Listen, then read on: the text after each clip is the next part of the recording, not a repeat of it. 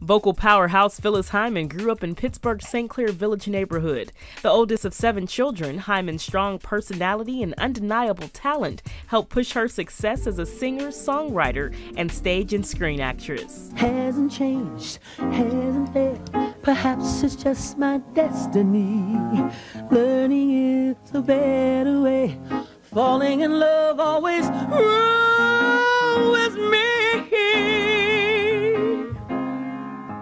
Hyman released her debut solo self titled album in 1977, but it wasn't until 1981 when the singer got her first solo top 10 hit with Can't We Fall in Love Again.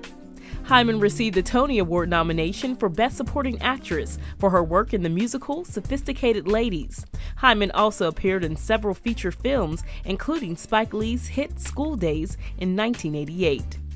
Hyman died in 1995, but her impact to the music world and legacy live on through her music.